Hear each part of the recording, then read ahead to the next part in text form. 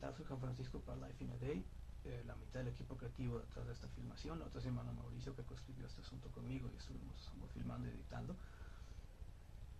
Esta filmación es acerca de nuestra ciudad, la ciudad donde vivimos, la Ciudad de México, en el segundo de tres días de lluvias torrenciales, eh, encerrados en un caos vial y, una ausencia casi total de personas en la calle, lo cual es muy extraño porque nuestra ciudad siempre es una especie de pandemonio de personas yendo de un lado a otro.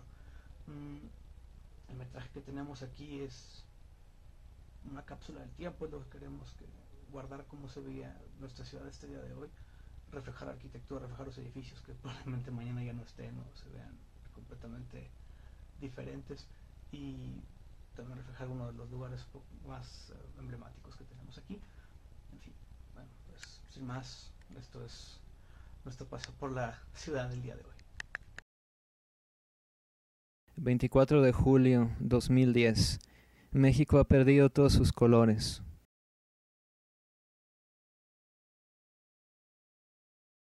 México se encuentra sumergido.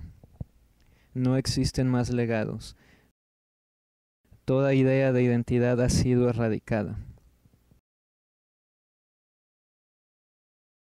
Antes conocida como la ciudad de los palacios, el México del futuro es un laberinto de fortalezas impenetrables.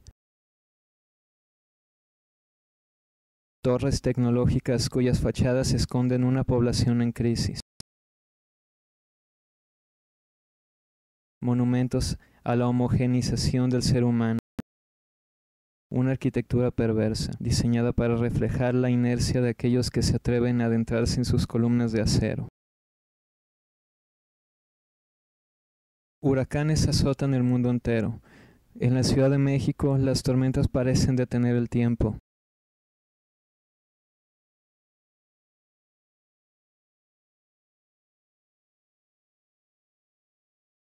El caos que provoca es un reflejo del deterioro mental que experimentan sus ciudadanos.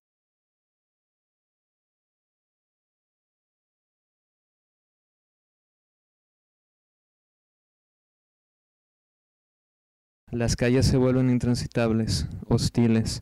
Aún así, el cumplimiento de ritos sociales les arroja a los conglomerados, donde el último concepto de identidad se presenta.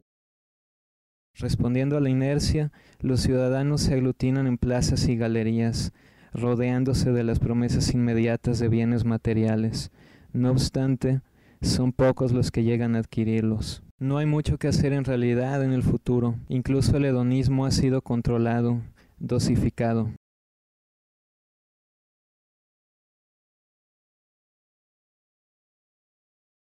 Los muros podrán contener la tormenta, pero continúa inundando las mentes de los hombres y mujeres, un desorden que nunca parece terminar.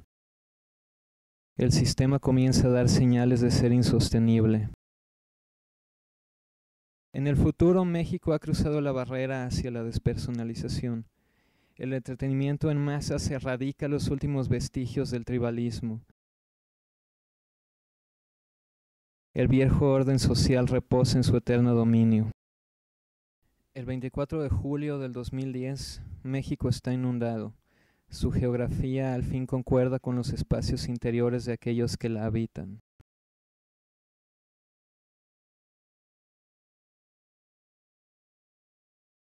La memoria es ahora motivo de vergüenza. El pasado se usa como ornamento, empaquetado y estampado.